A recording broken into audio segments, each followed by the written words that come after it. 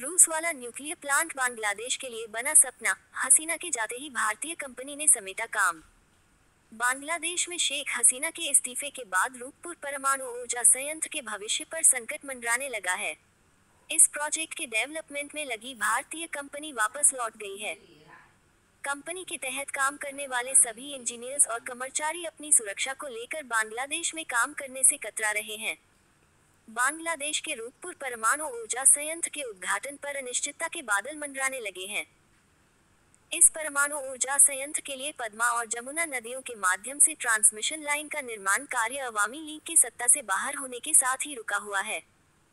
शेख हसीना के प्रधानमंत्री पद से हटने के साथ ही इस ट्रांसमिशन लाइन का निर्माण कर रही भारतीय कंपनी ने साइट छोड़ दी है।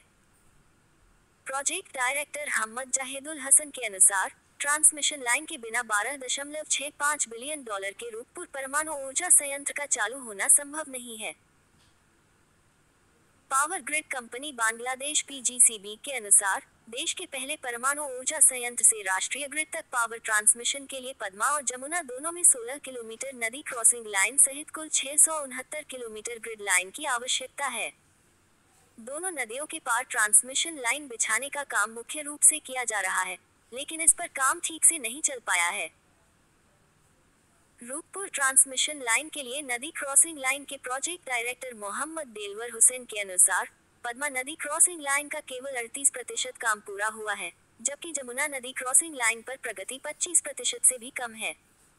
भारतीय कंपनी ट्रांसरेल लाइटिंग को 524 मिलियन डॉलर में नदी क्रॉसिंग लाइन के निर्माण का ठेका मिला है। इस कंपनी को पद्मा में दो kilometre single circuit 400 KV line और एक सात kilometre double circuit 400 KV line और जमुना के माध्यम से एक और सात किलोमीटर 230 केवी लाइन का निर्माण करना है। अधिकारियों के अनुसार, तीन नदी क्रॉसिंग लाइनों में से ट्रांसरेल ने अक्टूबर तक पद्मा में 400 केवी नदी क्रॉसिंग लाइन के दो किलोमीटर को पूरा करने पर सहमति व्यक्त की है ताकि रूपपुर बिजली संयंत्र की यूनिट एक से बिजली का संचार किया जा सके।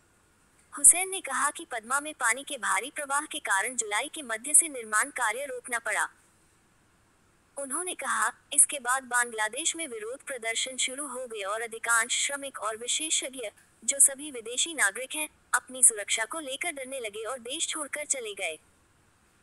पीजीसीबी के अनुसार 100 भारतीयों और 30 इंडोनेशियाई लोगों सहित लगभग 150 विदेशी श्रमिक नदी पार करने वाली लाइनों में काम कर रहे थे।